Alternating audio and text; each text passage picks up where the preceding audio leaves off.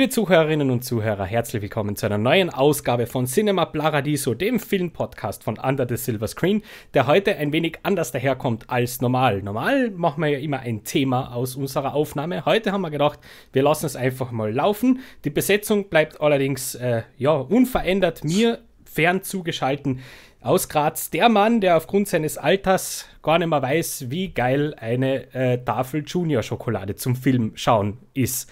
Severin Dringel aus Graz. Sevi, stimmt, oder? Ich habe keine Ahnung, was das ist tatsächlich. Siehst du, ich habe ja. es gewusst. Was ist denn deine Go-To-Süßigkeit, wenn es um Filme geht? Ich glaube, über das haben wir schon einmal geredet, gell? Du hast haben gesagt, Sport, Sportgummi. Sportgummi, korrekt. Also ist das Im Kino. Ki Im Kino, ja. genau. Ja. Wie schaut es daheim aus? Ja, da, ich habe jetzt nicht unbedingt so, also Sportgummi habe ich jetzt nicht unbedingt auf Lager, deswegen äh, Eben. unterschiedlich, ja, keine Ahnung, was halt so gerade in der Snacklade ähm, liegt, das ist immer unterschiedlich eigentlich, keine Ahnung. Seien es einmal Gummibärchen oder, also oft sind Soletti, weil ich bin ein riesen Soletti-Freak, also ja. da kannst du mir echt ähm, drei Packerl in die Hand drucken und die sind innerhalb von zwei Stunden weg. Perfekt. Das ist, ja, na, also ich bin ein großer, also Soletti ist bei mir der Snack to go. Okay, äh, an der Stelle gleich die Frage: Weiße Schokolade, overrated, underrated, genau richtig rated. Wie siehst du das? Underrated. Underrated. Mir schmeckt wahnsinnig gut und es redet nie jemand über, über weiße Schokolade, zumindest jetzt nicht mehr. Siehst du, du ja. solltest dir dringend einmal also, die, die, die, die angesprochene Junior-Schokolade kaufen. Die ist ah, wirklich ja. geil. War, das okay. war meine Kindheit früher. Also das weiße. Ja. Weiße mhm. mit äh, so, so kleinen eingespritzten, was das so, diese, diese Getreideflocken, wie man es aus dem Kindercountry kennt das Ganze eingebaut in. Boah, voll geil. Ähm, du kommst aus der Steiermark, dementsprechend die Heimstätte von äh, einer meiner Lieblingsschokoladen generell. Zotter, yes or no? Yes, zumindest gehe ich sehr gern dort auf Besuch hin. Lieblings die, Lieblingssorte? Boah, Nougat. Nougat? Okay. Ja. ja. Sehr gut. Also Aber wenn ich sagen muss, weil in der Steiermark ist es, also vor allem bei diversen Familienanlässen, ist es gang und gäbe, dass wir uns gegenseitig mit Schokolade beschenken. Und das ist mein absolutes Horrorgeschenk. Weil jedes Mal, wenn ich das kriege, ich verputze sie einfach nicht, weil es meistens irgendein, irgendein, Geschmack, irgendein extravaganter Geschmack ist, den ich einfach nicht, dem ich nicht traue. Und, okay. dann, und dann verdirbt die in, meinem, in meiner Süßigkeitenlade. Das ist auch eine Schande. Vielleicht sollte ich sie dir schicken jedes Mal dann. Also ich liebe ja die Zotterkrammeln, gell? Muss ich an der mhm. Stelle mal äh, mhm. äh, äh, zugeben. Ich finde das ja ganz, ganz grandios. Also wirklich, ja. meine Lieblings-Zotter-Schokoladensorte ist aber tatsächlich das Salzkaramell. Also das äh, darfst du mal nicht herstellen, das wird relativ schnell relativ schnell Geschichte sein. Also da halte ich es mit der Frau Julia Zotter. Das ist nämlich ihre, ihre Lieblingskreation tatsächlich. Ah ja. Ähm, ja, hätten wir uns über das einmal unterhalten. Wichtiges Thema auf jeden Fall. Regionaler Bezug. Süßigkeiten passen nämlich auch zu einem Film, über den ich ganz ein paar Worte verlieren möchte. Bevor wir das allerdings machen, würde ich vorschlagen, wir sprechen gemeinsam über einen Film, den wir, glaube ich, jetzt beide gesehen haben. Denn du hast mir geschrieben, du gehst ins Kino. Ja. Und war das der Fall? Leider nicht, ich gehe erst Nein. morgen. Okay, du gehst erst morgen. Aber ich weiß, über welchen, welchen Film du meinst. Ja. Fein, dann würde ich sagen, machen wir das dann einfach das nächste Mal. Es geht natürlich um The French Dispatch, ja. den du ja äh, morgen dann in dem Fall im Kino sehen wirst. Ein Film, wo ich schon auf deine Reaktion sehr, sehr gespannt bin, weil du ja, ja angehender Journalist bist. Genau, und deswegen freue ich mich ja sehr auf den Film nicht weil ich der riesen Wes Anderson-Fan bin, sondern einfach wegen dem Thema und weil das schon, äh, ich habe schon sehr, von sehr vielen Kritiken gehört, dass das eine Ode, Ode an den Journalismus sein soll. Deswegen bin ich schon sehr gespannt und was ich noch als kleinen Sneak Peek angeben möchte, ich habe vor, bis zu unserer nächsten Aufnahme viermal ins Kino zu gehen. Oh wow! Weil momentan, puh, das läuft wirklich auf momentan, das Angebot oh, wow. an Filmen. Es Erzähl ist jetzt French Dispatch. Ja. Dann würde ich dann die letzte Gelegenheit zu The Last Duel wahrnehmen. Das mhm. ist nämlich am Dienstag dann der Fall, bevor der Film dann endgültig aus, Öst aus den österreichischen Kinos verschwindet. Ähm, Last Night in Soho auf jeden Fall. Mhm. Und der letzte ist mir gerade entfallen, aber es war nur einer. Okay. ja. Das, das ambitioniert Titan, war es vielleicht der? Titan, genau, aber der ist ganz klar auf dem letzten Platz. Nicht, weil ich den, weil ich den jetzt sehen will, sondern weil ich glaube, dass wenn der dann äh, auf, keine Ahnung, Amazon, Amazon oder Netflix, whatever, ähm, verfügbar ist, dass das nicht den großen Unterschied macht, ob ich den jetzt im Kino oder auf einer Streaming-Plattform sehe. Hm. Titan, ein Film, der äh, für alle die, die mit dem jetzt überhaupt nichts anfangen können, heuer den, äh, die Goldene Palme gewonnen hat, gell? in Cannes. Genau. Ja. Und ähm, sehr experimentell daherkommt, was man so aus dem Inhalt herauslesen kann. Mhm. Hm, Weirdo-Kino ist ja was, wo ich durchaus dabei bin. Same. Und ähm, dementsprechend bin ich sehr gespannt auf diesen Film. Beneide dich gleichzeitig schon wieder, weil ich absolut kommen sehe, dass der in Kärnten nicht ankommt. Also muss, muss halt wieder nach Graz kommen. Ja, wieder mal. Diesmal nicht ins Fußballstadion, sondern ins Kino. Oh Gott. Aber es wird tatsächlich fast nichts anderes überbleiben, glaube ich. Weil äh. Titan ist, ist einer, auf den ich mich schon sehr freue, muss ich sagen. Ja. Weil, ey, hast Julia du Raw? Hast, Raw gesehen, ja? Ja, habe ich den gesehen. Den muss ich noch nachholen den will ich unbedingt noch schauen, bevor hab ich gesehen, Habe ich echt gut gefunden. Also jetzt nicht die, die höchsten Höhen, wo ein andere hingetan haben, aber ich, ich habe dem was abgewinnen können, ja. Cool. Für mich war der weird genug, sagen wir es mal so. Mhm. Der hatte so seine kleinen Schwächelein, Schwächeleinchen, aber der war fein. Also ich, wirklich, wirklich cool gefunden, tatsächlich. Ich glaube, ich nice. habe den damals, ich hätte ihm damals, laut meiner Rede, ich glaube, ich hätte ihm 8 von 10 Punkte gegeben, irgendwo dort in der Gegend. Okay. Also, ja, war schon cool. Ja, ist echt cool. Ja, gut, dann äh, also French Dispatch jetzt nicht. Dementsprechend starten wir doch gleich rein mit den Filmen, ähm, die wir zuletzt gesehen haben, wo wir ganz kurz ein paar Worte darüber verlieren möchten. An mhm. der Stelle möchte ich gleich schon voraussagen, ich möchte nicht über meine Filme nicht zu viel preisgeben, weil wir morgen unser neues Update drehen, wo ich über gleich vier Filme kurz sprechen werde. Dementsprechend wow. so ein bisschen ganz ähm, ja, überschlagsmäßige Gedanken. Mhm. Bevor ich das mache, möchte ich dich fragen: Hast du in den letzten paar Tagen irgendetwas gesehen, worüber du sprechen möchtest. Ja, also ich habe nicht sehr viel gesehen, aber anlässlich zu Halloween habe ich es hab doch geschafft, mir zwei Horrorfilme anzuschauen, die doch in den letzten Jahren, einer ist schon sehr alt, ein Kultfilm, ich glaube, das wissen schon einige, welchen ich meine, und einer hat auch in den letzten Jahren doch, oder zumindest in dem Jahr, als er rausgekommen ist, für Furore gesorgt und die Meinungen sehr gespalten, nämlich The Cabin in the Woods. Den habe ich mir auf Netflix angeschaut. Hast du den gesehen? schon mal? Ich habe ihn gesehen. Damals mhm. im Kino. Tatsächlich. Wirklich? Aha. Ja. Spannend. Ja, ich habe den damals im Kino gesehen und habe eine super Zeit gehabt mit dem Film. Echt? Ja, ich habe eine super, aber das könnte auch wow. daran liegen, dass wow. das eben im Kino war. Und dass die, die Stimmung möglich. im Kino richtig geil war. Sehr gut möglich. Äh, könnte daran ich liegen. den nicht katastrophal, aber doch ziemlich schwach gefunden. Mhm. Woran machst weil du das fest? Für mich war das halt Trash. Ich habe den als ja. Trash, Trash-Film interpretiert, ja. Ich habe dann nachher gelesen, der Film will ein Trash-Film sein, der genau. ist also eine, gewissermaßen ein bisschen eine Verhöhnung oder eine Satire dem Horrorgenre und generell diesem Teenie-Horror-Genre ähm, anliegend. Und halt, mhm. ähm, es ist ja von Klischees nur so überhäuft, die mhm. Handlung, wenn man ehrlich ist. Mhm. Und der Film macht sich halt sozusagen kombiniert mit dem Horror, mit den Horrorelementen, die auf jeden Fall da sind, gewissermaßen über das, über, über halt diese Klischees eben lustig zumindest wieder das ähm, sagen das viele und das ist halt die Hauptmessage des Films. Bei mir ist die aber nicht so ankommen. Für mich war das einfach ein generischer Horrorfilm, der am Ende völlig den Verstand verliert. Äh, und gegruselt habe ich mir auch nicht wirklich. Mhm.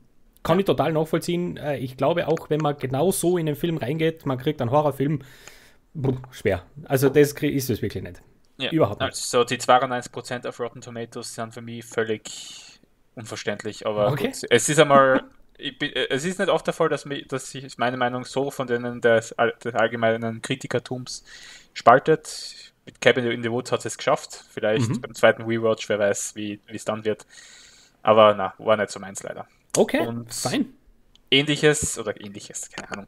Man kann die Filme überhaupt nicht so miteinander vergleichen. Wir haben ja kurz schon drüber geredet, über The Shining. Ja. Den habe ich jetzt endlich nachgeholt, den Kult-Horrorfilm von Stanley Kubrick mit Jack Nicholson in der Hauptrolle der meiner Meinung nach, also zumindest ist das die beste Performance, die ich bis jetzt von ihm gesehen habe, aber ich habe auch noch nicht so viele Filme mit ihm gesehen und das mhm. sagt halt schon viel aus bei Jack Nicholson. Nur, keine Ahnung, The Shining ist natürlich ein inszenatorisches Meisterwerk, finde ich.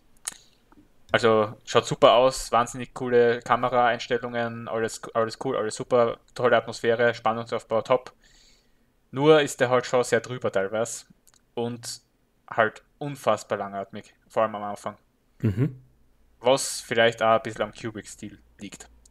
Ähm, weil Kubricks Filme tendieren schon dazu, gewissermaßen ein bisschen, sich ein bisschen Zeit zu lassen, sagen wir mal so, am Anfang. Die, die, die, die Untertreibung of the Day. das stimmt ja, schon so. Also, hast, du, hast du mal two, uh, 2001 A Space Odyssey gesehen?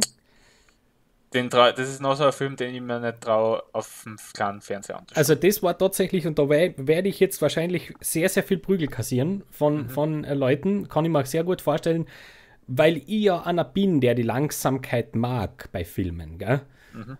Vielleicht sollte ich ihn noch einmal sehen. Es ist tatsächlich schon sehr lange her, dass ich den gesehen habe. Aber ich kann mich erinnern, das war ungefähr vor sechs, sieben Jahren, wo ich ihn das erste Mal gesehen habe. Mhm. Und ich habe gut geschlafen. Oh. Also anständig gut. Oh. Das, ja, das, äh, der, der war wirklich. Uh. Ja, das habe ich schon vor einigen gehört. Ähm, ist halt ein Kultfilm, den ich natürlich nachholen muss und irgendwann ja. noch werde. Ja. Aber jetzt einmal zu The Shining noch ein paar Worte. Ähm, ich möchte mir jetzt auch noch zu lange damit aufhalten, aber ich habe jetzt das Wichtigste eh schon gesagt. Äh, das Finale ist, finde ich, top. Das, dem will ich sogar 10 von 10 geben. Also vor allem die, Schluss, die Schlussszene oder die Schluss, die Schluss, keine Ahnung, der Schluss einfach, wie dann Jack Nicholson zum Tragen kommt oder wo halt die, wie soll ich sagen, the fate of his, ähm, also einfach das Schicksal seines Charakters dann offiziell wird, das hat mich schon sehr kalt erwischt, im wahrsten Sinne des Wortes.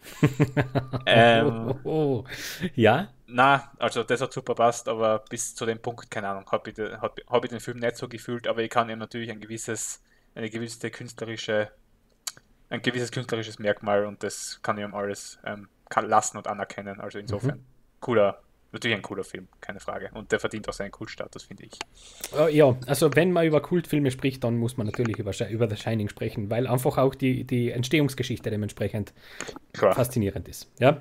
ja. Und ist halt Kubrick, glaube ich, gerne Apocalypse Now ausgenommen, ist auch ein Regisseur, der natürlich aus heutiger Sicht mit heutigen Sehgewohnheiten und mit dem, was man jetzt kennt vom Kino, einen schweren Stand hat weil es einfach diese, diese Art zu erzählen und diese Art Filme zu machen mittlerweile nichts Neues oder Revolutionäres mehr ist. Ja, nur, nur Apocalypse Now ist nicht vor ihm. Äh, Francis also, Ford Coppola, oh mein ja. Gott. Mein, mehr Culpa. Ich wollte natürlich. Clockwork ich wollte natürlich. Na, ich wollte natürlich Full Metal Jacket sagen. Mhm. Aber der ist auch nicht. Wohl, ist der, der ist Kubrick. Doch, doch, das ist Kubrick. Ja, der ist Kubrick. Ja, genau. Das Gott, Apocalypse Now, wie komme ich drauf? Ja, siehst Vietnam. das Gleiche. Ja. Okay. Ähm, so, das ist halt, das ist halt einfach sowas. Ähm, ich glaube, da, da tut man ihm ein bisschen, ja, da, da tut sich ein bisschen schwer, tatsächlich, mit, mit heutigen Sehgewohnheiten zwischendurch. Das ist ganz so spezielle Art ja. von Filme machen. Ähm, hat aber wirklich großartige, meiner Meinung nach, Filme äh, zu verantworten, einen ganz unterschätzten. Möchte ich einfach nur droppen weil mir der in der Diskussion immer zu kurz kommt, ähm, ähm, Ice White Shut. Spektakulär. Folge, Folge. Ja. Ähm, der, der kommt mir in der, in der ganzen Diskussion immer sehr, sehr kurz. So, ähm, meine, mein Beitrag zu Last Scene äh, beschränkt sich im Grunde auf zwei Filme. Mhm. Der erste, den habe ich jetzt endlich nachgeholt. Der äh, war vor gar nicht so langer Zeit bei uns im Kino. Habe ihn versäumt und habe ihn jetzt nachgeholt on demand. Ähm, Candyman. Der ah. Film von äh, Nia Costa. Ja. 2021er Remake des Films von 1992, beziehungsweise nicht Remake, sondern eigentlich direkte Fortsetzung. Mhm. Er ignoriert nämlich Teil 2 und Teil 3 komplett in der, in, im Inhalt und schließt direkt an den ersten an. Mhm. Macht einen Zeitsprung. Ähm, deswegen gleich vorweg, wenn man den Ursprungs Candyman nicht kennt, den sollte man definitiv gesehen haben. Sonst wird man relativ hm, verwirrt, verwirrt. Du wirst recht schnell vor, vor ziemlich verschlossenen Türen stehen, wenn du den ersten Film noch nie gesehen hast, weil da gibt es sehr, sehr viele Verweise, auch inhaltlich. Mhm. Du kriegst auf jeden Fall mehr raus. Ähm, Candyman erzählt abgesehen davon äh, recht, ja, interessante Story, finde ich. Er verlegt nämlich diesen, diesen Mythos in die Kunstwelt mhm. was für sehr visuell, sehr ansprechende Bilder sorgt, weil man diesen ganzen Film eigentlich wie ein Kunstwerk verstehen sollte, meiner Meinung nach. Der ist inszenatorisch on point. Bin sehr gespannt, was Nia Lacoste aus ihrer Karriere macht. Der macht ja, äh, die macht ja, glaube ich, Captain Marvel 2. Ja. Stimmt. Mal schauen. mal schauen, mal schauen, weil ja. wäre nicht die erste visionäre Regiekraft, die Marvel verheizt. ähm, ja. Abgesehen davon von der inszenatorischen und schauspielerischen Leistung habe ich aber nicht so gefreut mit dem Film, wenn ah. ich ganz ehrlich bin. Mhm. Ähm, ich finde ihn sehenswert. Also er hat von mir, glaube ich, eine 6 von 10 gekriegt. Mhm. Ich finde ihn sehenswert, aber ich finde ihn nicht weniger problematisch, wenn ich ganz ehrlich bin. Weil ich finde, Jordan Peele hat den produziert. Ja. Und das sollte eigentlich schon alles sagen. Er, man, man versetzt nämlich einen Slasher mit ganz, ganz viel Gesellschaftskritik und ganz viel Politik. Also wirklich ganz, ganz viel. Sämtliche weiße Menschen in dem Film sind genau eins von drei Sorten. Entweder Kanonenfutter oder Volltrotteln oder umsonst. Hm. Da gibt es nichts dazwischen. Ähm, vor allem gegen Ende macht er, und das möchte ich nicht spoilern, aber er macht, oder man macht da einen, einen storytechnischen Kniff mit der Figur, den ich wirklich gefährlich finde. Mhm. Das muss nicht sein. Und da daran glaube ich, ich weiß nicht, vielleicht bin ich da übersensitiv, aber das finde ich absoluter Blödsinn. Möchte nicht mehr dazu sagen, macht euch ein eigenes Bild aus inszenatorischer Sicht, aber absolut sehenswert. Ich finde den echt cool gemacht. Der okay. ist echt fein. Und der aber ähm, bist du dann auch kein Get Out-Fan? Doch, Wenn, doch. Mhm. Weil mir Get Out subtiler daherkommen ist. Candyman packt den großen Holzhammer aus zum Schluss. Hui, also am Ende ist Get Out gar nicht mehr subtil. Ja, aber der Aufbau ist gut. Ja, der Aufbau ist gut. Und, und Candyman ist aber, also da ist am Anfang schon klar, in welche Richtung das geht. Sehr, sehr schnell. Mhm. Also schon beim ersten Kill wird das ganz klar, wen das ansprechen soll. Und ähm, na, es ist ja fein, kann man so machen. Nur hat halt für mich persönlich nicht funktioniert. Ich weiß, da bin ich in einer totalen Minderheit. Ähm, ich finde den aber trotzdem noch einmal sehenswert. Absolut. Ja. Cool. Also Candyman wurde jetzt auch nicht so frenetisch gefeiert von allen. Bei uns also, nicht. Er ist sehr durchschnittlich angekommen. Mm, ja. Ähm, und der zweite Film, ich habe hab dir in den Shownotes einen anderen geschickt. Ja. Aber ich möchte, ich habe gestern einen Film gesehen, über den ich doch zwei, ah, drei Sätze ver ich glaube, ich weiß Ja, verlieren möchte. Apple TV Plus hat sich nämlich einen Kinorelease gesichert. Der hätte eigentlich sollen bei uns, ich glaube, vor ein oder zwei Monaten ins Kino kommen. Ursprünglich. Ja. Den hat sich jetzt aber Apple TV Plus von Universal gekrallt. Es geht um Finch, mhm. den neuesten Film mit Tom Hanks in der Hauptrolle. Muss ich auch noch schauen, ja. Und äh, ich war sehr überrascht von dem Film. Also anstrengend positiv. überrascht. Positiv. Absolut cool. positiv überrascht, weil ich dachte mir nach dem Trailer, ui, also ähm, okay, ist alles nicht neu und äh, dazu auch noch dann Tom Hanks in der Hauptrolle, ist das vielleicht nur ein Vehikel für ihn. Und das Vehikel ist er zum Teil, aber der erzählt nebenbei noch einem bisschen, nach einer anfangs holprigen 20 Minuten, kriegt er das tatsächlich gewuppt, dass ich zum Schluss wirklich mit feuchten Augen da gesessen bin. Oh. Der kriegt das hin. Er erzählt die Geschichte von einem Forscher, der sich einen Roboter baut, in einer ja, fernen Zukunft, wo die Erde im Grunde unbewohnbar ist, baut der sich einen Roboter mit dem einzigen Ziel, das sollte er einmal nicht mehr da sein, sich der Roboter um seinen Hund kümmern soll. Das ist die Prämisse. Mhm. So.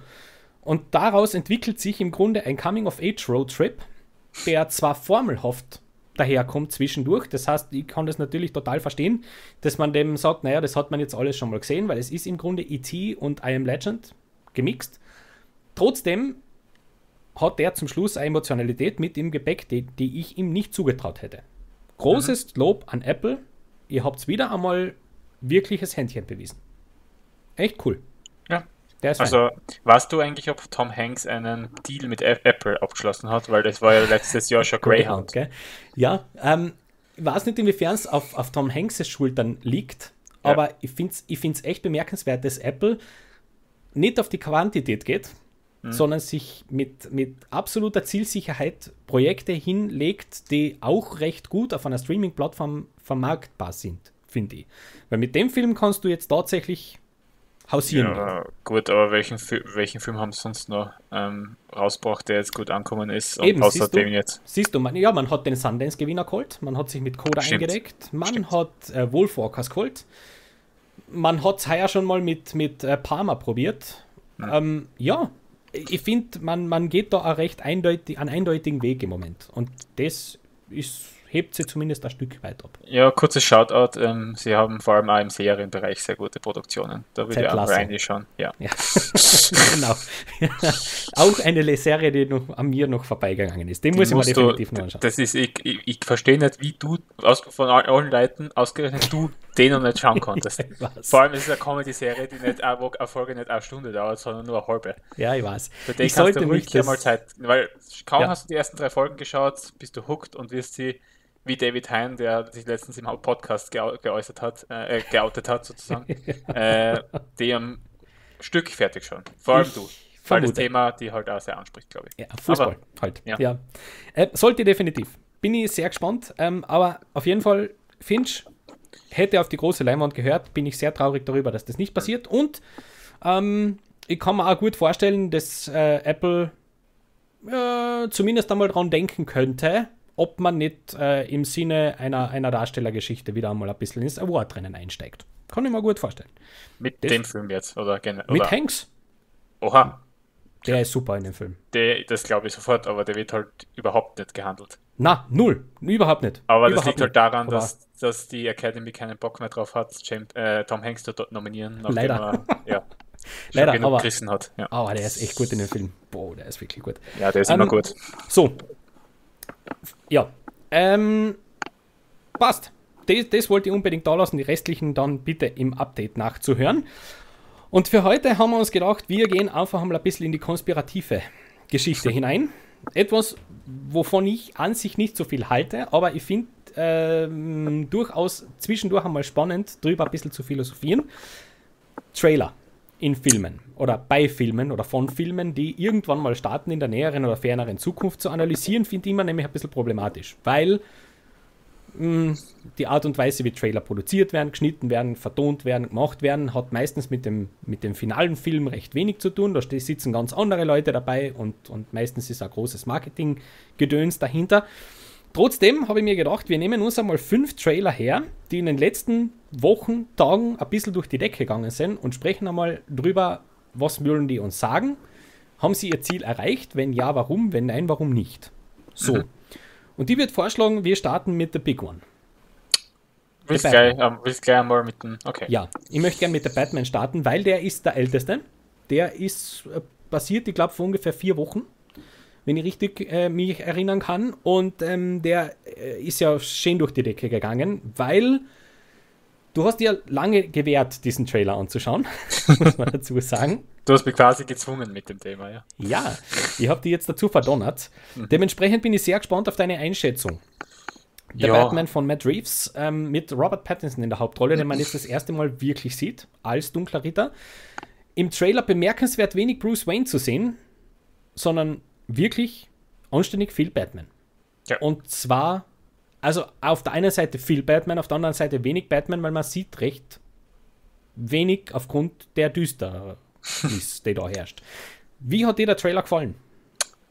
Bombastisch. Also, du hast wirklich jede, jegliche Lorbeeren, die du da ausgeschüttet hast in unserem Vorgespräch, sind dem gerecht geworden, finde ich. Also vor allem vom Anfang und auch vom, vom Schluss, von der Schlusssequenz bin ich absolut beeindruckt, beeindruckt und blown away gewesen. Vor allem von der Schluss, von, vom Schlussshot sozusagen, wo, wo, ja, ähm, wo man ja ein Auto sieht, das Kopf ja. über am Boden liegt.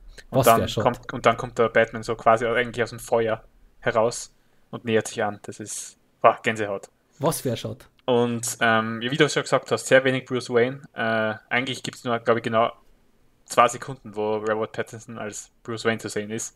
Mhm. Nämlich steht er da kurz herum und äh, schaut halt in die Ferne. Sonst ist er eigentlich nur im Kostüm. Und ähm, das habe ich noch gar nicht genug ähm, deklariert, glaube ich, bis jetzt, weil ich habe immer nur mir an Marvel ausgelassen und dass ich kein großer Superhelden-Fan bin.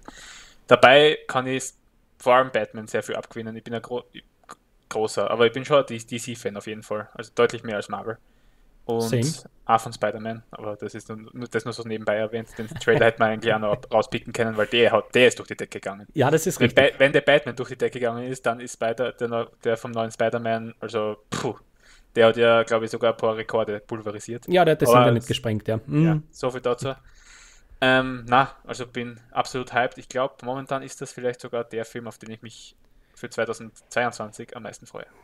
Ich habe dann ein bisschen Recherche betrieben, auch im Hintergrund Denn es ist ja tatsächlich zwei Tage nach diesem Trailer auch die offizielle Laufzeit gedroppt seitens äh, ja. des Verleihs. Mhm. Drei Stunden. Was? Drei Stunden. Es wird eine Detective Story werden. Also erwartet keinen Superhelden-Bombast, sondern eine hausgemachte Film-Noir-Detective Story. Und das nimmt ja der Trailer schon vorweg mit drei Bösewichten. Äh, fast. Ja, weil Catwoman als Bösewicht ist immer schwierig. Ah. Ja. Aber der Pinguin und der, und der Riddler, ja. beide drinnen. Äh, einer verkörpert von Colin Farrell, den ich nicht erkannt habe in dem Trailer. Also da das tatsächlich. Äh, Unmöglich. Äh, was? und Paul Dano hört man nur, den sieht man noch nicht. Bin ich sehr gespannt, wie der ausschaut. Ähm, ja, die Frage ist für mich wirklich drei Stunden. wow, ambitioniert. Ja, das, ich hoffe, das tut dem Film im Endeffekt nicht weh, weil das ist öfter als nicht der Fall gewesen in den letzten Jahren, vor allem bei Superheldenfilmen. Ja. Nur, ja, also ich glaube, der Batman, zumindest von den drei Minuten, von zweieinhalbminütigen Trailer, habe ich den Eindruck gewonnen, dass es jetzt endlich einmal nicht Kindergeburtstag wird, sondern wieder ein cooler, erwachsener Superhelden-Action-Film oder Detective-Film. Action, ich, nicht, nicht leise ja, Action. Ich hoffe natürlich auf ein entsprechendes Rating, das ist natürlich noch nicht verfügbar, wie den auch. Den hat mhm. noch keiner gesehen. Ähm, jetzt gehen natürlich auch im Internet die wildesten Theorien los, aufgrund der Machart dieses Trailers und aufgrund der visuellen Eindrücke. Da haben sich ja doch relativ viele an einen Film erinnert gefühlt, der 2019 für richtig große, großes Furore gesagt hat. Aus dem Universum. Wo jetzt sehr viele Menschen glauben, naja, aber könnte das denn nicht sein, dass man da vielleicht noch mal so ein Reunion macht und so? Weil vom Alter her wird es passen. Pattinson gegen Phoenix geht. Ja. Also ja. der Trailer legt von drauf. der Tonalität die Rutsche. Das ja. ist sehr ähnlich. Ich hätte Bock drauf. Also, ja, same hier. Das, unbedingt, unbedingt. Unbedingt. Also das wäre das wär Hammer. Schauen wir mal, wie der, wie der wird. Auf jeden Fall ähm, ein Trailer, der mich anständig geflasht hat. Muss ich wirklich sagen, der Soundtrack ist ein Hammer. Also, ja, ja, ja. Sehr uh. also electrifying, auf jeden Fall. Also bin hyped. Absolut ja, hyped. Auf jeden Fall, auf jeden Fall. Ähm, den zweiten Trailer, wir gehen gleich weiter, würde ich sagen, oder? Hast du noch irgendwas zu der Batman zu sagen? Na, also wir haben den jetzt beide mit, mit ganz vielen Lorbeeren überschüttet. Ich glaube, äh, viel mehr braucht es jetzt auch nicht. Das passt. Ja. Wir gehen weiter zum Trailer, den ich, ähm, ich glaube, letzte Woche ist der gedroppt, gesehen mhm. habe und einfach nur mal eine kurze Einschätzung wollte von dir, weil ist halt so ein typisches Drama, das jetzt dann irgendwann rauskommt, passenderweise genau in die Award Season fällt. Oh, welche mhm. Überraschung. Uh, uh. George Clooney am Regiestuhl. Ja. Ben Affleck in der Hauptrolle, The Tender Bar. Mhm. Ein Film, von dem ich bis letzte Woche noch nichts gewusst habe. Mhm. Und ähm, der Trailer hat mich so halb erwischt, muss ich sagen. Was Sag mal so, ich habe schon Lust, den, mir den Film anzuschauen. Ja. Allein wegen, keine Ahnung, ich glaube, dass Ben Affleck ist momentan on a good run. Weil der hat in, wie hat der verkauft der Film The Way Back? The Way Back. Hat er ja. Oscar-reife Performance abgeliefert, dann war er in The Last Duel in Standout und jetzt in der Tender Bar wird er auch wieder für Awards Contention gehandelt. Ähm, ich bin sehr gespannt. und ja, ich finde, also überrascht mich, dass der jetzt plötzlich wieder so eine Renaissance erlebt, ähm, weil der war ja schon ziemlich am Boden. Mhm. Und ja, keine Ahnung, ich bin immer sehr skeptisch, wenn es auf zu Ben Affleck kommt. Ich bin nicht der größte Fan von seinem Spiel und alles und auch von ihm als Menschen nicht, aber das ist völlig irrelevant jetzt. Für mich verrät der Tenderbar, macht der Tenderbar, der, der Trailer macht altbekannte Fehler, den viele Trailer in den letzten Jahren gemacht haben, nämlich verrät er alles. Ja, er genau. verrät alles über den Inhalt, er, er, verrät alles, wie der Film ablaufen wird, dass er halt gewisse, eine gewisse Chronologie, Chronologie an den Tag legt. Äh, junger Bur, der von seinem Papa, von, von seinem Papa missachtet wird, kommt zum lieben Onkel, der ihm halt neue Lebensenergie und Motivation für die Zukunft gibt und dann plötzlich ist er ein erwachsener Mann, wird an, der, an einer der prestigereichsten Universitäten äh, der Welt ähm, aufgenommen und ähm, erlebt seine erste Liebesaffäre etc. sofort und halt immer die, ist die Beziehung mit dem Vater und mit dem Onkel sozusagen äh, ein mhm. Ge so Gegenpole oder so Antithesen zueinander. Hat man jetzt auch schon öfter gesehen in, in, letzten, in letzter Zeit. Ähm, ich glaube nicht, dass der Film Bäume ausreißen wird, ähm, aber scheint ein lieber Film zu sein, deswegen habe ich schon solche Familiendramen, für die habe ich ja ein bisschen einen Softspot.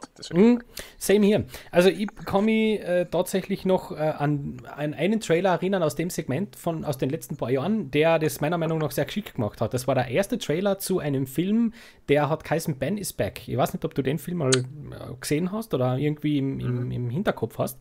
Ähm, Julia Roberts in der Hauptrolle. Okay. Und äh, ähm, äh, wie heißt er? Hat bei Lady Bird hat er die Hauptrolle gespielt. Ah, äh, Luke, Luke, Lucas Hedges. Lucas Hedges, danke, genau. Lucas Hedges als, als äh, ja, Sohn mit, als verlorener Sohn mit, mit einer schweren Drogenthematik, ja. Und der erste Trailer hat zu dem Film genau aus einer Einstellung bestanden, die relativ am Anfang des Films besteht, also stattfindet. Es war tatsächlich der Trailer, war diese Zwei-Minuten-Sequenz. Der hat null verraten von dem Film. Da war ich total hooked. Der Film war dann so mehr. Aber ähm, der hat es richtig schick gemacht und ich bin total bei dir. Der Zenderbar ist halt genau so, was, was man halt so erwartet. Also ist ja. jetzt nichts, was ich sage, aber unbedingt muss ich den jetzt sofort sehen, bitte. Schauen wir. Schauen wir. Ja, also, ich bin vor allem auf Ben Affleck gespannt, weil ja. das ja, soll wieder eine coole Geschichte sein für ihn. Auf jeden Fall. Und George Clooney ich, ich, als Regisseur, keine Ahnung, habe ich jetzt noch nicht so viel Gutes über ihn gehört und gesehen, aber. Mm, ja, ja. Äh, äh, weil hm. Midnight Sky war ja ein ziemlicher Flop. Ja, das war anständige Kröte. Ja. Ähm, aber der hat auch schon, der hat schon ganz gute Sachen auch gemacht. Aber er ist ein bisschen Hit and Miss, was das angeht, finde mhm. ich persönlich. Ähm, bist du Gamer? Teilweise. Mhm. Ja. Auf welchem Gerät? PlayStation 4. Sehr schön. Also dann hat dich wahrscheinlich der Trailer oder das erste Bewegtbild zum folgenden Film, über den wir ganz kurz sprechen möchten, sicher auch äh, ja, interessiert. So viel würde ich jetzt mal vermuten.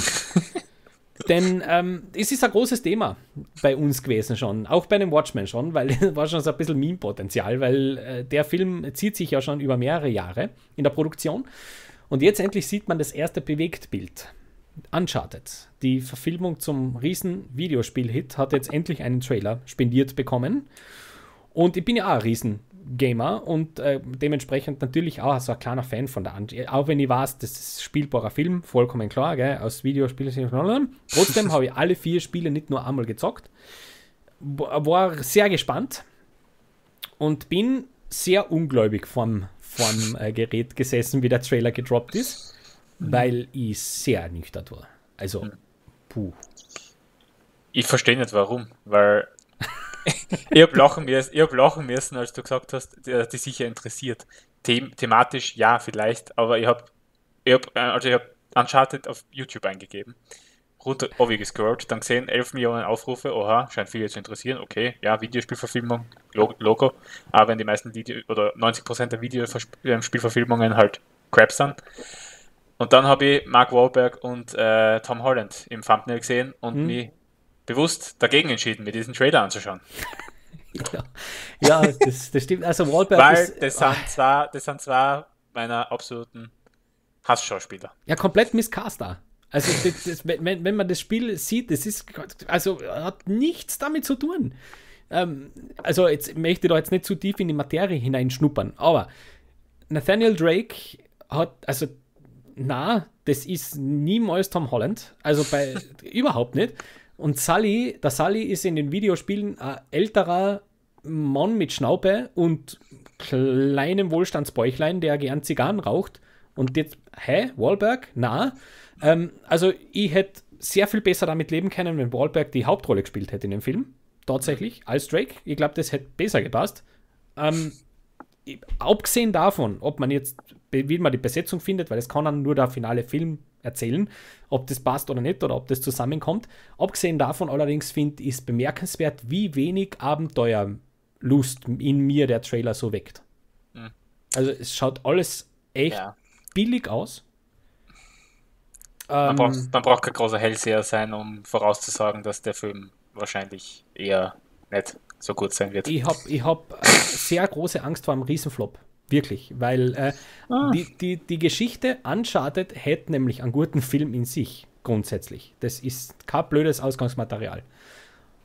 Wie beispielsweise auch der vierte Teil der Videospielreihe eindrucksvoll gezeigt hat, dass du da eine richtig coole und ernsthafte Story erzählen könntest rund um das. Aber das ist es halt absolut nicht. Also ich habe ich hab wirklich, ich habe zuerst mir den Uncharted-Trailer angeschaut und dann den Trailer zu Red Notice und wusste zum Schluss nicht mehr, welcher Film welcher war. Das ist tragisch. Das ja, ist wirklich das tragisch. Sagt schon sehr viel aus. Ja. ja. Red Notice ist ein Film, äh, wo wir sicher in der nächsten Folge darüber reden werden, weil der droppt nächste Woche. Mhm. Und die Reviews sind unterirdisch. äh, told you so an der Stelle. Ja, aber bei solchen Filmen, das, das überrascht mich halt auch überhaupt Nein, nicht. Das, das war, es ist in der Zeitung gestanden. Also, da, das ist nämlich zum Beispiel ganz kurzer Schwenk. Du hast gesagt, ähm, ähm, Holland und Wahlberg, deine Hate-Actors, gell? Ja. Absolut. Also vor allem Tom Holland. Ich weiß nicht, er ist sicher ja. ein cooler Typ in Real Life und alles. Ich habe schon Interviews mit ihm gesehen. Mietlich, alles gut, aber als Schauspieler, oh mein Gott, ich finde, der ist eine Vollkatastrophe. Der ist ein kein guter Spider-Man. I'm sorry. Ist, ist, ist, nicht so, ist nicht so deiner, gell? Na, ist nicht so deiner. Überhaupt ähm, nicht. Spannend. Holland sollte nämlich, ist nämlich eigentlich jetzt in einem Alter, wo er schon langsam auch zeigen sollte, in welche Richtung das geht bei ihm. Also ja. wird er der Blockbuster-Dude bleiben? Oder fangt er jetzt mal an mit den interessanten Projekten? Mit The Devil All the Time hat das mal gezeigt, dass grundsätzlich nicht so wenig in ihm steckt. Wenn naja, da hat eben aber lässt. auch Robert Pattinson die Show gestohlen. Also das ist richtig. Er kann halt, er schafft es nicht herauszustechen. Das ist richtig. Also nicht. alleine einen Film tragen kann er definitiv noch nicht. Aber er bräuchte halt einmal interessante Projekte. Und das kriegt er noch nicht hin du kannst mir nicht erzählen, dass Cherry zum Beispiel kein interessantes Projekt war. Von dem Film hat man sehr viel versprochen. Ja, aber Cherry, oh, ja, aber mit Cherry habe ich auch inszenatorisch ganz, ganz riesige Probleme. Ja, klar, gehabt. aber Ru Ru Russo Brothers, Tom Holland, der Hauptrolle, Kriegsthema. Da war alles da. Ja, Apple ja. TV Plus. Also. Ja. Das, war, das ist für mich übrigens ein Contender, wenn es dann gegen Ende geht. A Greatest Disappointment. Ja. Könnten wir über Cherry reden an der Golde, Stelle. Goldene Himbeere. Boah, das war ein, eine Kröte. Bist du deppert. Ähm, na, aber ähm, abgesehen jetzt davon, ähm, du hast gesagt, Wahlberg und, und ähm, ähm, ähm, Holland gehen gar nicht. Mhm. Kurzer Ausflug, bei mir war es bei Red Notice dann so, dass ich mir gedacht habe, oh, Reynolds und The, The Rock. Oh, nein, ich mag, ich mag den Ryan Reynolds, gell. Also wer mag ich nicht. Aber ey, Dwayne The Rock Johnson macht halt wieder die Augenbraue und, und sorry to say, aber Gal Gadot schaut gut aus, aber bitte hör auf zum Schauspielern, echt wahr. Ich kann den nicht mehr ma, ma, Nein, also Wonder, Wonder boah, Woman, der erste, komm. Boah, ich finde, die kann schauspielerisch einfach nicht mithalten in der obersten Liga. Sie ist lieb und fesch und aber ei, ei, ei, ei, ei. Also da habe ich mich, aber das ist ich habe jetzt gehört, sie spielt die böse Königin bei Schneewittchen. Ist das nicht mhm. schön? ja. Wer spielt, wer, spielt ein, wer spielt ein Schneewittchen? Ja, äh, ja, ich habe äh, große Kontroverse. Okay. Auf jeden Fall bei mir persönlich, weil, aber da gehen wir jetzt wieder ins Politikum. Ich, ich finde, das ist nicht so spannend. Ich, ah, Schneewittchen ist, ist äh, wirklich auch so eine Verfilmung, da möchte ich, je weniger das ich darüber her, desto besser für mich. Weil, Passt. Dann lassen wir es lieber stehen ja. und gehen weiter zum nächsten Trailer. Genau. Wo wir schon bei Disney wären. Aber was für eine schöne Überleitung jetzt. Top. Ähm, Pixar hat aus dem Nix einen ja. Trailer gebastelt. Und Der war Konzept, wirklich aus heiterem Himmel. Ja, und ein Konzept vorgestellt, wo ich echt lange gebraucht habe, bis ich den verstanden habe. Lightyear Mhm. Also offensichtlich bekommt die Figur aus, aus Toy Story 1 bis 4 ein Prequel. Ja. Und die ist, schon, ist, es schon, ist es ein Prequel? Aber da war ich mir nicht sicher. Ist es eine Vorgeschichte? Ich denke, weil er schaut sehr jung aus. Also, hm. Und jetzt hätte ich ganz gern gewusst von dir, A, braucht man das? Und B, was macht das mit dir? Nein, es braucht es nicht. äh, ich bin ja ein riesen Toy Story Fan. Ich mag alle. Ich mag 1, 2, 3 und auch 4. Ähm, die haben ja. alle ein gewisses, das sind alle einfach so anders auf ihre eigene Art und Weise und auch wenn vier, auch wenn ich mir beim Vierer am Anfang gedacht habe, warum jetzt noch einer, nach zehn Jahren, äh, aber der, der hat bei mir funktioniert. Der war fantastisch, finde ich. Mhm. Aber ich war immer Buzz Lightyear, ja, für viele die ikonische Nebenrolle in den, im Toy, Toy Story Franchise zu sagen. Aber ich war immer mehr der Woody-Fan. Ich war ein Fan von ihrer Freundschaft, aber ich war nie so der, der sich an die große Fangemeinde von Buzz Lightyear ähm, angeschlossen hat. Ja, im ersten war er noch ganz fein und dann ab dem zweiten wird seine Figur irgendwie immer eindimensionaler und uninteressanter. Ja, mhm. äh, bis zur Unendlichkeit und, viel, und, noch viel weiter ist natürlich auch iko genauso ikonisch und das hört man in jedem Film ab zwei bis dreimal. Irgendwann geht es auch, auf, auch auf die Nerven. Das mag am Anfang noch ganz witzig sein. Aber ich glaube, ich kann mir vorstellen, dass Lightyear sich genau an, dieser, an diesem ikonischen Spruch viel zu sehr aufhängt. Was ich verstehe es, ich verstehe es, dass man nach den vier Filmen, weil es soll ja auch kein fünfter mehr kommen, glaube ich, mhm. dass man sich nach den vier Filmen entscheid, dazu entscheidet, Sequels und Prequels zu den verschiedenen Figuren zu machen. Mhm. Und es ist auch irgendwo verständ, nachvollziehbar, dass Buzz Lightyear halt der erste ist. Weil was willst du Woody großartig erzählen? Natürlich. Ähm, keine Natürlich. Ahnung. Ich werde mir auf jeden Fall anschauen, einfach wegen meiner Toy Story Vergangenheit und weil ich das Franchise einfach liebe, aber kann ja. man vorstellen, dass er was mit mir macht, auf jeden Fall. Der Trader hat es nicht geschafft. Also ich muss sagen, äh, da waren einige Einstellungen dabei, die aus animationstechnischer Sicht beeindruckend sind. Also Natürlich.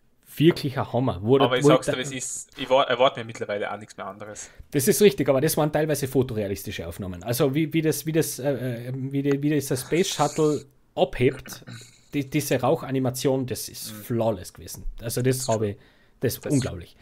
Abgesehen davon, halt die null und gar nichts von dem Film, muss ich wirklich sagen. Weil, ich meine, Buzz Lightyear, so wie du sagst, das Interessante aus seinem Charakter ergibt sich im ersten Teil daraus, dass er eine Spielzeugfigur ist. Und nicht was, dass er eine Spielzeugfigur ist. Mhm. Und ich bin jetzt wirklich gespannt, was die aus dem Charakter machen. Vielleicht hat der dann mit dem echten Buzz oder mit dem Buzz Lightyear aus dem Toy Story auch gar nichts zu tun. Das könnte auch sein. Dass das im Grunde die Spielzeugfigur nach diesem Charakter dann modelliert wird kann durchaus, dann bin ich fein damit. Ich bin aber gespannt. Ja. Ich bin wirklich sehr, sehr neugierig, ähm, aber skeptisch. Generell bin ich gespannt, wie sie mit Toy Story weitermachen, weil das wird sicher nicht das letzte, das einzige Prequel bleiben. Also nach dem Erfolgslauf, den die, das Franchise hingelegt hat, schwer vorstellbar. Aber Vollkommen richtig. Ich schau, schau mal, ich lasse das auf mich zukommen. Bis jetzt hat es mich, mich noch nie enttäuscht. Vielleicht erleidet mich nicht, wer weiß. Jo, schauen wir mal. Ähm, wo wir doch bei Disney wären, gehen wir doch gleich zum letzten, über den wir ganz kurz sprechen wollen. Ähm, ein Trailer, auf den ich mich sehr gefreut habe, mhm. weil ich auch das Konzept irgendwie interessant finde und das definitiv sehen will. Ähm, Encanto, der mhm. neue Disney, glaube ich, ist das Disney Animation, gell? Yes, genau. Ja. Ich habe mir, hab hab mir auch geglaubt, bis kurz vor der Folge, dass das äh, Pixar ist. Mhm.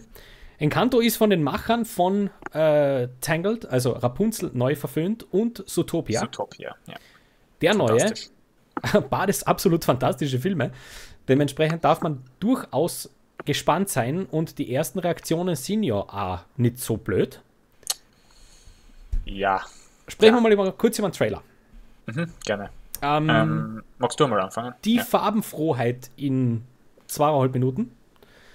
Ähm, man geht da offensichtlich wieder tief in die Folklore, wie man es auch schon bei Coco versucht hat. Irgendwie. Ja. Auch wenn es auch ein Studio ist, aber trotzdem. Ähm, was ich immer sehr interessant finde, ist dann eher weniger die Kultur per se, sondern was man aus der Kultur macht. Und aus dem, was einem das so hergibt und herlegt. Und in dem Fall geht man eindeutig in eine sehr magische Richtung, fast ein bisschen märchenhaft. Ähm, anscheinend spielt die Musik keine große Rolle auch in diesem Film, so wie ich das verstanden habe, in der Herangehensweise. Da hast du mich natürlich schon von Haus aus, weil ein gutes Musical ist einfach was, was ich auf ist wie ein Wiener Schnitzel, wenn es gut ist. Dementsprechend hat mich der schon nicht so blöd erwischt. Muss ich jetzt ganz ehrlich sagen, der hat mich schon geguckt. Also ich ja. möchte den definitiv sehen. Mhm. Same. Also ich will es ich nicht zugeben und ich will es mir auch nicht eingestehen direkt danach, weil ich mir viel, weil ich viele negative Gedanken währenddessen hatte, weil ich bin ja auch, ich glaube, das haben wir auch schon oft besprochen, ich bin ein großer Disney- und Pixar-Fan und generell von animierten Filmen kommen sehr viele in meinen absoluten Lieblingsfilmen vor. Also ihr könnt ja zurück zu der Folge gehen, wo ich sie vorstelle. Ja. Ähm, auf Encanto freue ich mich, weil er mir einfach ein sehr gutes Gefühl gibt und ich ja glaube, dass ich nach den eineinhalb bis zwei Stunden, die der Film vielleicht dauert, ich weiß nicht, wie lange er ist, äh, genau dieses Gefühl auch da heraus transportieren werde, weil es halt wieder so eine Coming-of-Age-Geschichte ist. Es wirkt wieder wie ein etwas kindlicher, kind, kindlicherer Animationsfilm. Also es ist kein Soul. Mhm. Es ist auch Disney, also Disney ist jetzt auch nicht unbedingt bekannt dafür, erwachsene Anim Animationsfilme zu machen. Aber irgendwie was, also mir ist sofort ins Auge gestochen, es ist ein bisschen, es wirkt wie ein Coco-Abklatsch. Mhm. Gewissermaßen. Mhm. Hat Ähnlichkeiten, ja, auf jeden Fall. Und damit habe ich irgendwie, davor habe ich ein bisschen Angst, dass sie sich zu sehr damit, dass die sich zu sehr ähneln. Aber ich bin, ich kann mir auch vorstellen, dass es halt überhaupt keine Ähnlichkeiten gibt. Nur halt die ganzen was die äh, Latina, äh, Latina bzw. Südamerika Ähnlichkeiten mhm. Ja. etc. sofort. Weißt du, was ich meine? Natürlich, natürlich. Aber na, auf generell, also auf die Geschichte bin ich gespannt. Äh, ich, und bin immer, ich bin immer offen für so ein kindliches Erleb Erlebnis. Ich bin ja Frozen-Fan, wie du warst. Ja, vollkommen fein. Ähm, an der Stelle möchte ich noch eine Lanze brechen. Ich finde ja die, die Hauptperson schon jetzt echt knuddelig. Also das Design der Figur ist richtig cool. Also muss ich wirklich sagen, die haben es wieder, wieder mal. Da, da ist schon wieder an in den Startlöchern, über den wir viel reden werden, glaube ich. Gut möglich, ja. Also mit der Brille und der ist ja wirklich, also ja, echt, ja, ja. echt knuddelig. Also ähm, das, das kann Disney. Ja, die, aber der Film wird halt auch kein Film sein, vor allem was Charakterstudie betrifft, ähm, der jetzt irgendwie neu, sich neu erfindet oder na, das Genre na, neu revolutioniert. Muss auch, muss auch gar nicht. Also ich, ich, ich, erwarte mir ein, ein visuelles Spektakel, das muss ich an der Stelle sagen, weil das bin ich von Disney mittlerweile gewöhnt. Auch im Animationsbereich. Das, mhm. das richtig gut ausschaut. Und äh, ich erwarte mir genau das, was, was du gesagt hast, einfach eine gute Zeit und dass ich noch die zwei Stunden rausgehe und, und mir denke, hey, wow. Ja.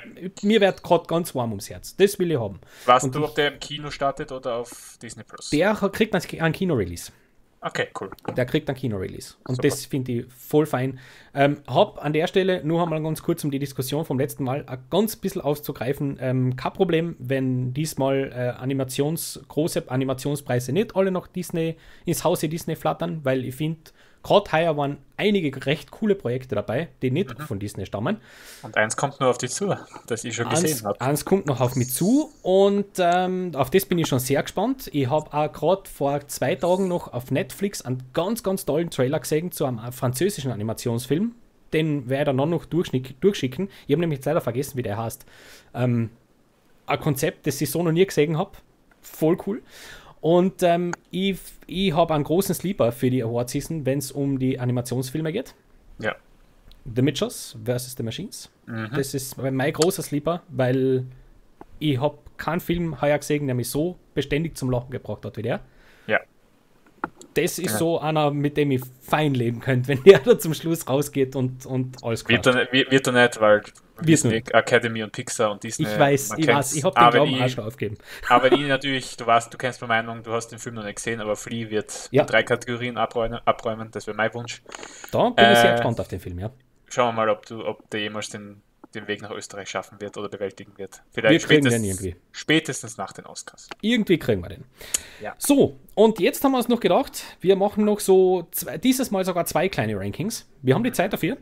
Ähm, ich habe nämlich gesehen, diese Woche ähm, haben wir im Kino etwas ganz Spezielles vor uns. Ich weiß nicht, ob das bei euch in der Steiermark auch passiert. Bei uns in Kärnten auf jeden Fall schon. Ich glaube, Cineplex generell in Österreich ja. zeigt das erste Mal eine 3D-Fassung von einem ganz großen Klassiker für viele aus der Kindheit bzw. Jugend, nämlich dem ersten Harry Potter. Harry Potter und der Stein der Weisen wird das erste Mal in einer langen 3D-Version zu sehen sein in den Kinos. Ähm, Frage Nummer 1, interessiert dich das? Und also, Frage Nummer 2, äh, könntest du dir vorstellen, dass du das anschauen gehst? Ich weiß, ich bin jetzt nicht so gut informiert, was, ähm, das, äh, was die Situation in Österreich betrifft. Ich weiß nur, dass er in Weiz spielt, witzigerweise, warum auch immer. Ja. Aber ja, es wird mich durchaus ansprechen. Weil ja. ähm, natürlich war Harry Potter auch wie bei vielen anderen auch Teil meiner Kindheit. Meine mhm. ganze Familie, sogar meine Mutter, ist Harry Potter vernarrt. Deswegen, ja, würde mich schon interessieren, auch wenn ich natürlich 3D-Skeptiker bin. Mhm, ja. Also ich würde mir den Film halt auch lieber in 2D anschauen, wenn er im Kino läuft, aber ja da bin ich nämlich total bei dir. Wenn sie jetzt gesagt hätten, sie machen nochmal einen Rerun auf zwei Tage aufgeteilt, dann wäre ich definitiv dabei. Mhm. In 2D. So, naja, weiß ich. Mal schauen. Mal schauen. Aber hey, der verkauft sich super. Muss ich echt sagen, ich habe heute gerade reingeschaut in die, in die Buchungsplattform. Äh, der Soll ist schon recht, recht gut voll in, in Villach. Also, hm, gar nicht cool. schlecht. Ticketpreis, glaube ich, 12,50. Ah, das ja. ist fair. Das geht. Für ein ja. 3D ist das voll fein. Ähm, jetzt habe ich mir natürlich anhand dessen die Frage gestellt, da hätte ich gerne mal so ein bisschen deine Einschätzungen. Ähm, Reruns von Klassikern im Kino ist ja eigentlich jedes Jahr ein Thema, vor allem in den, in den, zu den Feiertagen und besonderen Jubiläen von gewissen Filmen. Gibt es Filme, von denen du sagst, wenn ich da die Gelegenheit hätte, den einmal so in einem richtig großen Saal zu sehen, gerne auch mit Publikum, ähm, welche wären denn das so für die? Ich habe mich auf drei festgelegt und ich habe oh, sehr gutes, ich also ich hab ein sehr gutes Gefühl bei den dreien, muss ich sagen, vor allem beim ersten. Ja, der, erste wird, der erste wird weder die noch unsere Zuhörerinnen und Zuhörer überraschen. Es ist nämlich mein erster magischer Kinomoment, findet Nemo. Mhm. Also den hatte ich. Den ich nach, bin schon so alt. ich habe den nur im Kino gesehen. Ja. Uh, super Wahl an der den Stelle. Nach, nach all den super. Jahren ähm, wiederzusehen, wäre wirklich ein Traum. Ja. Aber wenn ich den in der Zwischenzeit natürlich auch wieder 100 Mal gesehen habe, ich weiß auch genau, was passiert und alles, aber das wäre halt wieder mal, das wäre was ganz anderes einfach. Sehr das wird einfach so viel Nostalgie in mir freisetzen, das ist ein Wahnsinn. Dann, ähm, ein Film, wo ich schon oft zu dir gesagt habe, den ich, ich habe ihn daheim liegen, traue mich aber nicht in mir auf meinem Fernseher anzuschauen, ja. nämlich Blade Runner 2049. Mhm. Ja. Und zu guter Letzt ein Klassiker, den ich auch noch nie gesehen habe, den du sehr magst, ähm, Lawrence von Arabien, weil von der, hm. glaube ich, auch so einer ist, den man absolut auf der großen Leinwand sehen sollte. Ja, der steht natürlich auf meiner Liste drauf. Vollkommen ist klar. So, wirklich? Aha. Ja, natürlich. Also Lawrence von Arabien äh, ist, ist so, das, auf das warte ich einfach. Es wird nie passieren, aber das würde ich wahnsinnig gerne mal auf einer richtig großen Leinwand sehen. Ähm, ich habe mir aufgeschrieben, äh, das ist kontrovers, weil ich den Film tatsächlich nie auf der großen Leinwand genießen durfte. Ich war damals zu jung. Mhm. Aber wenn es jetzt einmal so ein Kino gäbe, der sagt, hey, weißt du was, äh, so Jubiläum, weiß ich nicht, 110 Jahre Untergang Titanic, dann ähm, wäre ich dabei. Also Titanic auf der großen Leinwand. Ja. ja sofort. Ja. Mhm. Sofort. Gerne die, die, also da setze ich mich gern nochmal rein und, und, und schaue mir das an. Weil ich war damals tatsächlich im Kino, wie ähm, die 3D-Fassung rausgekommen ist von dem ah. Film. Die habe ich mir angeschaut im Kino und was die 3D ist halt so eine Geschichte, gell? Hm. hm. Kannst, kannst mögen, musst aber nicht. Genau. Und den würde ich gern mit dem richtigen Publikum noch einmal auf der großen Leinwand. Das wäre ja. ich sofort dabei. Kann Genauso wie übrigens der Soldat James Ryan. Ja. Mhm. Der. Mh. Hm? Und ich habe einen ganz untypischen Pick ähm, gewählt als dritten. Äh, habe mir noch über ein paar mehr Gedanken gemacht, aber äh, ich nehme jetzt als dritten statt Lawrence von Arabien, der da auch steht, ähm, Alien. Okay.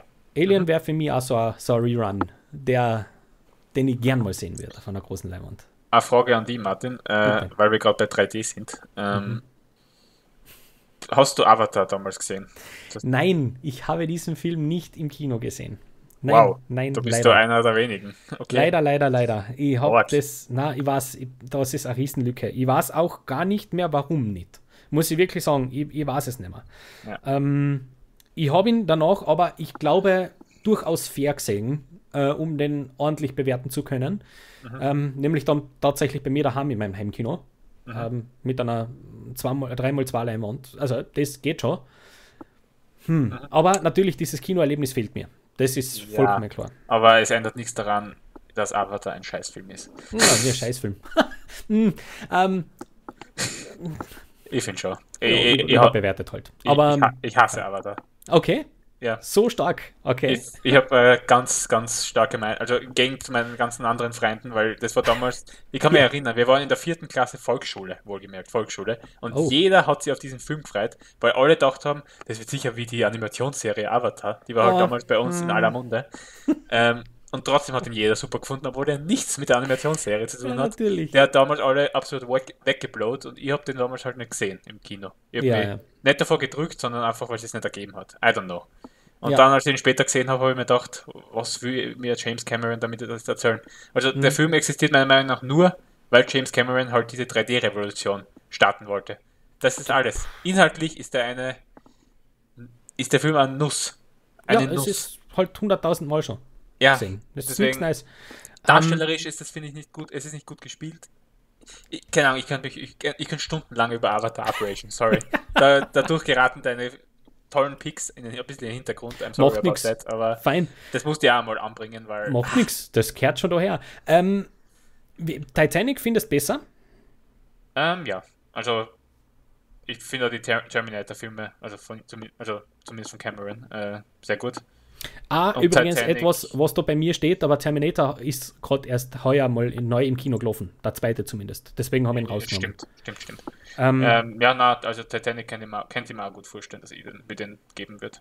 ja, ja, also es ist einfach monumentalstes Kino, so wie es halt einfach kehrt. Und, und äh, natürlich kann man das als fürchterlich kitschig finden, habe ich schon ein paar Mal an der Stelle gesagt, aber trotzdem äh, sage ich, das ist einer der, der großen, letzten ja. großen Blockbuster. Und ähm, könnte man natürlich auch über Gladiator reden an der Stelle, wenn es um das geht. Oh ja, oh ähm, ja. aber es kommt ja bald Gladiator 2. Oh, bitte, lost es. Ah, Ridley Scott, ich liebe dich, aber bitte lost es. Das ist ja wirklich. Preist also, dir auf den genauso wie auf Avatar 2, 3, 4, aber das ist ja, das ist ja das ist ja gleich abstrus wie jetzt uh, The Passion of the Christ Teil 2. Also das ist ja gleich dumm. Mhm. Lost das. Das ist ja doch ein kompletter Quatsch. Also muss man wirklich sagen. Was hast du vorher gesagt? Welcher zweite Teil? Auf welchen? Ähm, freust du ja schon, freust du auf Gladiator 2 genauso wie auf Avatar 2, 3, 4 und 100? Ja, super. Also ganz, ganz toll. Wirklich. Ma. Wenn ich schon her, dass ein Film fünf Jahre lang in einer Produktionshölle steckt, dann, dann ist das für mich ein eindeutiges Zeichen, das vielleicht das ist, nicht. Das ist ja der Grund, warum James Cameron in der Zwischenzeit nie mehr was gemacht hat, oder? Weil er halt die, alles in die, in die Fortsetzungen von Avatar seine ganze. Was? Anstatt, anstatt dass er sich auf das konzentriert, was er wirklich kann, nämlich einen coolen Terminator machen, weil das ist der Einzige, der weiß, wie das geht. Na. Ja. ja. Weißt, wir hätten nur so viele Crap Terminator ersparen können, wenn er einfach ein bisschen nachdenkt. Wobei, okay. einen guten Terminator von Ridley Scott würde ich auch gern sehen. Das ist richtig, ja. Ich glaub, das wäre nämlich witzig, weil hm. Aliens, Aliens, ter, ähm, Aliens von Cameron, das ist richtig. Die, äh, Terminator von Scott, wäre schon das witzig. Das ist richtig, das ist vollkommen richtig. Ähm, um diese Episode jetzt ein bisschen abzurunden, habe ich mir jetzt für eine Top 3 entschieden, äh, wo ich doch ein bisschen ähm, ins, in, in dein Privatleben hineinstöbern möchte, lieber Sevi. Denn du absolvierst ja, absolvierst ja im Moment deinen Zivildienst. Frage 1, wie geht's dir dabei? Gut, äh, gut, guten Start gehabt. Ich war jetzt erst drei, weil es war am Montag war ja Feiertag und am Dienstag, genau, äh, habe ich meine allgemeine Einschulung gehabt, das hatte ich von der Caritas aus. Und jetzt bin ich erst so drei Tage dort gewesen sehr gechillt alles. Also ähm, super nette Leute. Ähm, ich glaube, Sozialarbeiter, mit denen komme ich einfach gut klar. Mhm. ähm, und mit ihrem Empathievermögen. ähm, na, fast alles gut. Ähm, die Klienten haben mir, haben, waren bis jetzt auch sehr lieb und haben mich willkommen geheißen. Und die Arbeitszeiten sind cool, also alles, alles cool. Alles sehr, gut. sehr schön. Erzähl vielleicht ganz kurz in ein paar Stichworten, in welchem Bereich bist du tätig? Ähm, von der Caritas aus bin ich in einem Kontaktladen, in einem Streetwork-Kontaktladen tätig, wo vor allem ähm, drogenkranke Leute hinkommen, die ähm, nicht, also kein Alkohol und ähm, Alkoholkranken und Leute, die zum Beispiel nur, weiß ich nicht, kokainabhängig sind, sondern wirklich mehrere Substanzen sozusagen äh, missbrauchen. Ja. Okay. Und ähm, super wichtige Arbeit, die du da leistest an der Stelle. Das gehört einmal wirklich öffentlich auch gesagt. Und ähm, haben wir gedacht, das lassen wir ein bisschen einfließen und sprechen jeweils über drei Filme, von denen wir so der Meinung sind, wenn man eine harte Zeit im Leben hat, ähm, die durchaus helfen können, so das ein oder andere Leid ein bisschen zu lindern oder einem vielleicht ein bisschen Kraft zu geben in gewissen mhm. Schieflagen, die das Leben so ähm, bereit halt, hält für einen selber. Bin dementsprechend auch sehr gespannt auf deine Picks. Würde sagen, ähm, vielleicht hau doch mal einen raus das war wieder sowas, wo ich mir relativ leicht dann habe, tatsächlich mit den Top 3. Mhm. Ähm, vor allem mit den ersten zwei, die ich jetzt nennen werde. Der erste ist ein Film, der auch in meinen Top 10 aller Zeiten vorkommt, nämlich der unkonventionellste dieser Top 10, falls du dich erinnerst, nämlich Hangover Part 1. Ja, natürlich. Ja, also das ist für mich mit Abstand die Nummer 1. Jedes Mal, wenn ich den Film schaue, egal ob, ob ich kann die Gags und alle ja schon auswendig. Die 20 Mal, die ich, die ich mittlerweile gesehen habe, aber jedes Mal ähm, muss ich mich zu Tode lachen. Das hat sich bis heute nicht geändert, deswegen in guten wie in schlechten Zeiten gönne ich mir den gerne. Ja. Super erste Wahl. Ähm, ich hau gleich meinen raus. Äh, ich habe mir gedacht, für meinen, in dem Fall, du hast jetzt, glaube ich, deinen Platz 1 schon gesagt, gell? Ja. Ja. Äh, ich habe kein Ranking, deswegen haue ich einfach den ersten. In dem Fall habe ich das so interpretiert, ähm, welcher Film ähm, holt mich im Grunde, wenn es nicht gut geht, auf das Level, dass ich sage, und trotzdem kannst du aus dieser dummen Situation was aus dir selber machen, wenn mhm. du das willst. Und das ist ein irrsinnig kitschiger Film, den ich damals im Kino gesehen habe. Und ich weiß noch ganz genau, wie ich damals aus dem Kino rausgegangen bin, mir meiner Tränen sehr geschämt habe, weil ich in einem sehr schwierigen Alter war damals. Und ähm, ich war dann zusammen mit meinen Eltern und mit meinem Taufpaten. Und meine Mama ist dann damals nach dem äh, Film so wie man es halt macht, auf, auf die Toilette entschwunden, weil man muss sich ja wieder ein bisschen herrichten und ein bisschen zusammenklauben. Und es waren sämtliche andere Damen, die da drinnen waren, waren offensichtlich im gleichen Film, denn äh, da war Hochsaison vorm, vorm Schminkspiegel, weil jeder hat sich irgendwie neu herrichten müssen.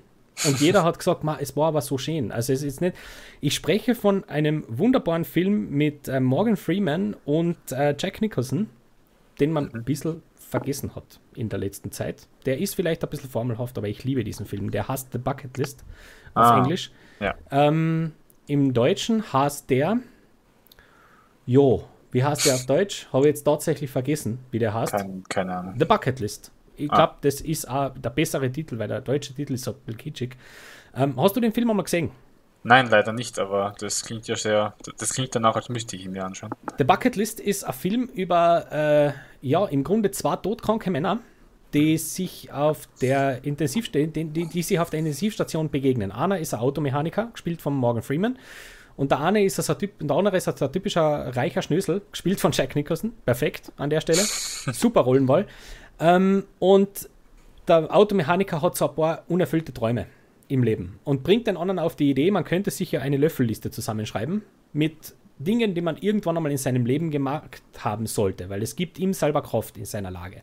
Die sind beide an Krebs erkrankt und ähm, sie machen diese Liste und beschließen dann, weil der eine eben relativ viel Geld hat, beschließt er, ey, der Arne ist mir sympathisch, ich, ich, ich, ich gehe mit ihm auf diese letzte Reise.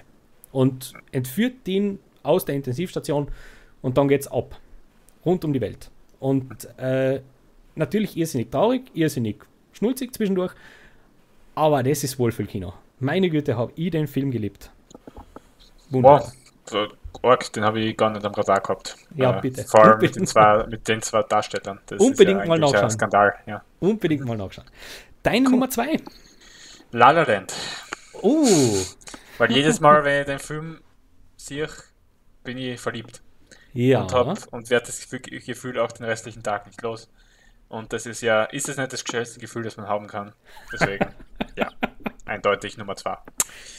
Also du, du gehst mit deiner Nummer zwei, mit dem Film, der dich, ja, der dich Liebe quasi entdecken lässt. Ja, ich, ich, kann nicht viel mehr dazu sagen. Wir haben ja schon oft genug über den Film geredet. Es sind jetzt nicht die kreativsten Picks, die ich da habe, aber es ist einfach Fein. das, was mein Gefühl mir sagt. Fein, und das ist doch das Schönste. Ähm, Finde ich bemerkenswert, dass der Film die, ja gut, es ist das Wesen der Liebe natürlich. Das stimmt schon. Genau. Das stimmt ja. schon. In seiner ganzen Tragik eigentlich. Schon. Ja, oder? also es ist halt wie, ich, ich, mich, ich verliebe mich während dem Film in die zwei Darsteller mhm. und auch irgendwie in das ganze Traumland Hollywood.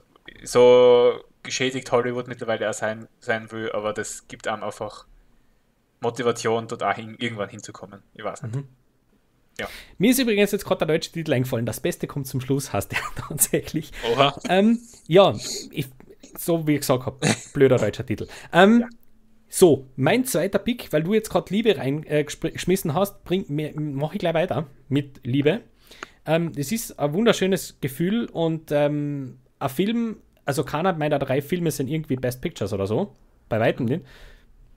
Maximal über ein Durchschnitt wahrscheinlich für ganz viele. Aber das ist so ein Film, der mich, was du kennst du dieses Gefühl, wenn du einen Liebesfilm schaust und dir denkst, ma, ich weiß ganz genau, dass der jetzt natürlich nicht top ist, aber der ist ja wohl wirklich herzig. Natürlich, wer kennt's nicht? Klar. Ich möchte da ganz schnell äh, einen Film von der Nancy Myers reinhauen. Der Grand Mistress, wenn es um dieses Genre geht. Ähm, Liebe braucht keine Ferien. Aha, sag der wird, mir was. Der wird ja. jetzt wieder aktuell, weil der zu Weihnachten spielt. Es geht in diesem Film äh, um zwei Damen. Eine ist eine Trailerproduzentin und eine ist, ich weiß gar nicht, was die andere ist, ich glaube Autorin oder so, keine Ahnung. Ähm, auf jeden Fall ähm, zwei sehr gegensätzliche Damen, die sich auf einer ha Häusertauschplattform kennenlernen und beschließen, für die Weihnachtsferien ihre Leben zu tauschen. Die eine zieht ins Haus von der anderen um. Mhm. Die eine wohnt in Surrey in England, im tiefsten Land, und die andere lebt in Los Angeles. Das High Society Leben. Mhm. Und äh, ja, weil sie beide im Grunde von der Liebe schwerstens, schwerstens enttäuscht werden, sich dann denken, sie mögen mit Männern überhaupt nichts mehr zu tun haben und äh, gehen jetzt quasi ihre eigenen Wege und finden sich selbst. Und das Blöde ist allerdings, dass, ähm, ja, dort gibt es halt auch Männer. Und blöderweise halt Männer, die jeweils mit dem Leben der anderen ein bisschen was zu tun haben. Nicht negativ, aber doch irgendwie. Und äh, die Besetzung, über das kann man streiten, da ist äh, für viele rote Tücher, weil Cameron Diaz und Kate Winslet spielen da die Hauptrollen. Aha. Ja. Äh, ja, fein. Dazu sieht man dann Jude Law und Jack Black als potenzielle Partner. Und super. Was, das ist, das ist einfach, ich weiß ganz genau, dass der, dass der so seine Fehler hat, aber der ist grundsympathisch, der Film. Also wirklich echt herzig. Wie, also gerade eben für Weihnachten ist das, der, der wird mir richtig warm ums Herz, wenn ich über den Film spreche. Ganz, ganz herzig. Ganz cool. Lieb. Finde ich cool, dass du da jetzt so viele Perlen oder Filmtipps naja, abgibst. Perlen, aber. Ja, na, aber im Gegensatz zu meinen, zu meinen Mainstream-Langweilern hast, hast, du da schon einige. Na, zieh auf. Ja, na doch. Aber was soll ich machen? Es ist halt einfach so, was mir mein Bauchgefühl sagt. Ich kann, ich, da kann ich schwer. Das ist ich kann super. mich schwer selber anlügen. Das ist doch super.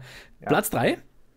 Platz 3, Monster AG. Ich hätte, auch locker, find, wow. ich hätte auch locker Findet Nemo sagen können, aber das habe ich halt vorher schon erwähnt. Deswegen, für mich sind die beiden ungefähr auf einer Wellenlänge. Ich wollte nur einen Animationsfilm dazu tun, weil für mich gehört das absolut bei so viel gut in diese viel gut Kategorie dazu.